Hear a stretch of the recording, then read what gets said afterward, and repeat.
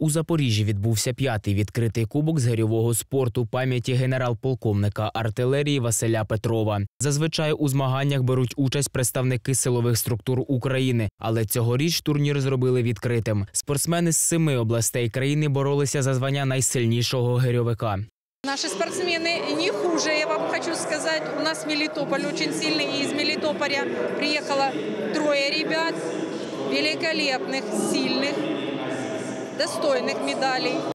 Мелітополець Максим Черніков займається гирьовим спортом більше 20 років. У студентські роки йому не було рівних не тільки в Україні, але й у всьому світі. У 2008 році він виграв чемпіонат світу серед студентів і ще раз повторив свій успіх у 2010-му. Особистий рекорд Максим встановив на чемпіонаті України в 2012-му. Ті змагання були останніми перед семирічною перервою. Ранее я поднимал более высокий результат, у меня лучший результат 162 подъема был. Но это было давненько, когда я усил- ну, сильно занимался, усиленно как бы готовился на чемпионаты мира. Сейчас я начал, можно сказать, недавно. Я тренируюсь буквально три недели после небольшого перерыва. Ну и тем не менее хочу сказать, что мастерство не забывается, оно как бы и сохраняется, если его не загубить. Представник команди Донецького юридичного інституту Міністерства внутрішніх справ України Євген Душкевич приїздить на Кубок Петрова вже вдруге. Торік спортсмен став абсолютним чемпіоном у всіх вагових категоріях, а команда здобула срібло змагань. Євген задоволений результатом, адже вдалося його покращити. Первое – это желание тренироваться, да. Нужно каждый день над собой э, работать, э, постоянно усовершенствоваться, да.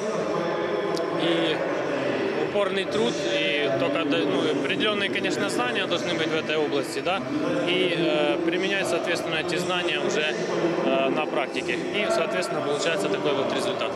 За п'ять років проведення цих змагань у них взяло участь майже півтисячі спортсменів. Тому організатори підкреслюють на важливості проведення подібних змагань і для популяризації гирьового спорту, і для вшанування пам'яті. Наш герой не имел рук, и он сумел победить врага, я подчеркиваю, на поле боя, а не сидя в тылу или где-то в штабе. Поэтому мы должны помнить о таких людях, которые э, ковали победу для нас, добывали эту победу, э, чтобы мы жили в мирное время. Для переможців та призерів організатори підготували ексклюзивні подарунки. Свою нагороду отримав і Євген Душкевич. Він виграв золоту медаль у ваговій категорії до 90 кілограмів. Микола Замерело, Дмитро Сахно, ТВ 5